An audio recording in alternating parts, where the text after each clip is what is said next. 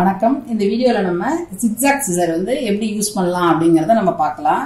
இப்போ சிக்ஸாக் சிசர் பார்த்தீங்கன்னா இது வந்து ரெண்டு சைடுமே ஒரு ஜிக்ஸாக்கான பல் இருக்கிற மாதிரி இருக்கும் அந்த சிசர்ல நம்ம வந்து இப்போ டைலரிங்ல பாத்தீங்கன்னா நிறைய டைப்பான சிசர்ஸ் எல்லாமே யூஸ் பண்ணுவோம். Normal scissors paper cutting scissors embroidery scissors அது மாதிரி எல்லாமே யூஸ் பண்ணுவோம்.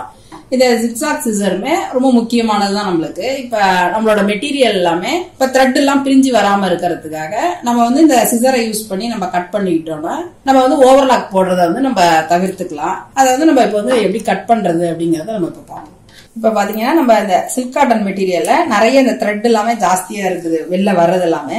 இதுக்கு நம்ம இந்த ஓரத்தில் அப்படி கட் பண்ணிக்கிட்டு அடுத்தது ஸ்டிச் பண்ணோம்னா நம்மளுக்கு கொஞ்சம் டிஸ்டர்பன்ஸ் இல்லாமல் ஸ்டிச் பண்ணவே நல்லா ஈஸியாக இருக்கும்.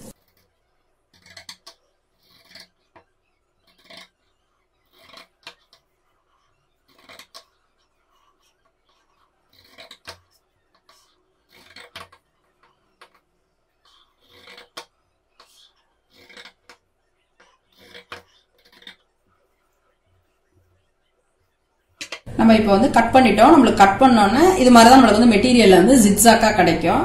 இதுல வந்து த்ரெட் ஜாஸ்தியா வந்தது பாத்தீங்கன்னா இப்ப கட் பண்ணோம்னா நம்மளுக்கு எந்த த்ரெட்டுமே வராம இருக்கும். இப்ப பாத்தீங்கன்னா இது வந்து நம்மளுக்கு வந்து த்ரெட் எதுவுமே பிரிஞ்சு வராம நீட்டா இருக்கும் நம்மளுக்கு. நம்மளுக்கு ஸ்டிச் பண்ணவே நல்லா ஈஸியாக இருக்கும் இவ்வளோ நேரம் இந்த வீடியோவை பார்த்ததுக்கு ரொம்ப நன்றி. நம்ம வீக்லி அப்லோட் பண்ணுற வீடியோஸ் நோட்டிஃபிகேஷன் வரணும்னா நம்ம சேனலை நீங்கள் சப்ஸ்கிரைப் பண்ணிங்க. ஏதாவது டவுட் இருந்ததுன்னா எப்பொழுதும் போல் கமெண்ட் பாக்ஸில் தெரிவிங்க. அடுத்தடுத்த வீடியோவில் நான் கிளியர் பண்ணுறேன் தேங்க்யூ ஸோ மச்